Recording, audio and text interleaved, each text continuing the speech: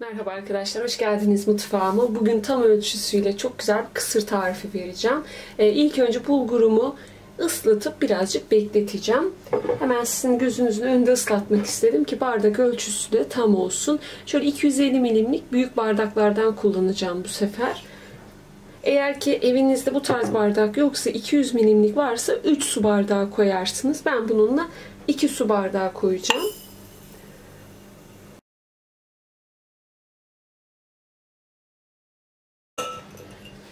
Bir buçuk su bardağı da kaynar su ilave edeceğim.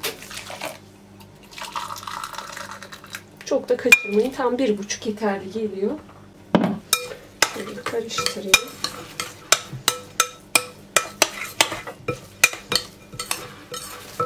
Üzerine streç filmle kapatacağım. Eğer ki kapaklı bir şeyde ıslatırsanız kapakla kapatabilirsiniz. Şimdi 20 dakika boyunca bu şekilde bekleteceğim. Kısır orada dinlenirken hemen soğanlı harcı hazırlayayım. Ocağın altını yakıyorum. Bir çay bardağı sıvı yağ ile zeytinyağını birazcık karıştırarak yapacağım ben. Biraz daha hafif olması için. Sizler arzu ederseniz direkt zeytinyağı kullanabilirsiniz. Küçük küçük doğradığım bir adet büyük boylarından kuru soğanı pembeleşene kadar kavuruyorum. 2 diş sarımsağı da dövdüm. Onu da ilave ediyorum. Sarımsak çok yakışıyor. Kesinlikle koymanızı tavsiye ederim.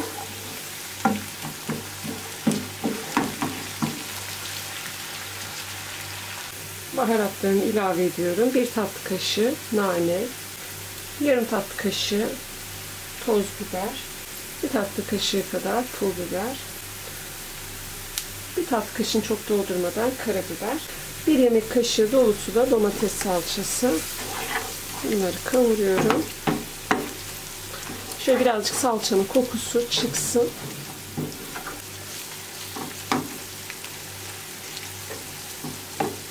Yeterli artık. Ocağın altını kapatıp yeterince dinlendi artık. Açayım. Yeşilliği koymadan önce birazcık karıştırarak soğutacağım. Hem de yedirmiş olacağım sosu.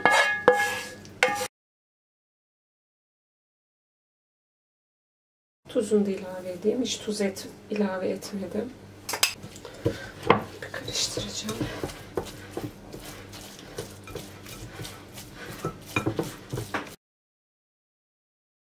Yanıma yarım su bardağı su aldım. Ara ara böyle yoğuracağım. Yoğururken de suya ihtiyaç duyarsam katacağım. E, bir adet limonun suyu. Artık bunu çıkarıyorum.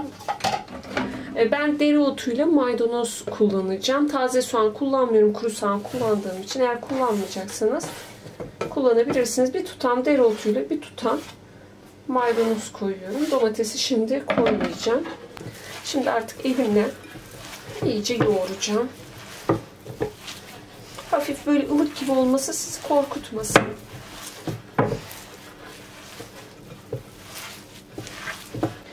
10 dakika boyunca yoğuracağım böyle.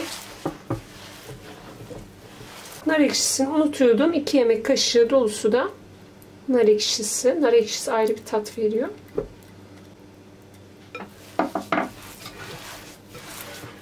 Yeterince yoğurdum. E, suya hiç ihtiyacım olmadı arkadaşlar. Su hiç katmadım. Şimdi domatesleri ilave edeceğim. Domateslerle çok e, yoğurmayacağım. Şöyle hafif karıştırıp bırakacağım artık. Kısırım hazır. Tadına da baktım. Çok güzel tuzu, ekşiliği tam yerinde. Domatesin bu arada suyunu, e, iç kısmının suyunu aldım. Ondan sonra doğradım. Yoksa çok sulanır kısırınız. Ayrıyetten de su ilave etmedim. Tam yeterli geldi. Yapacağım. Ee, nasıl arzu ediyorsanız o şekilde yapabilirsiniz. Ben biraz daha küçük bir yuvarlağa alıp ters çevireceğim. Daha böyle şık durması için. Birazcık kabımı tabii ki ıslattım. Kaşıkla bastırıyorum.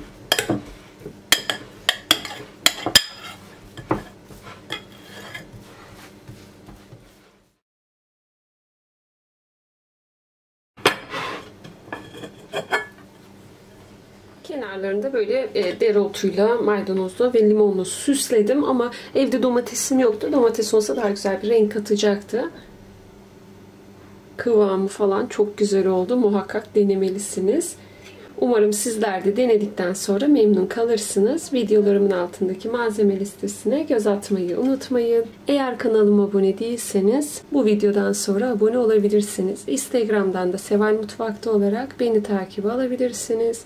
Bir dahaki videolarda görüşmek üzere. Hoşçakalın.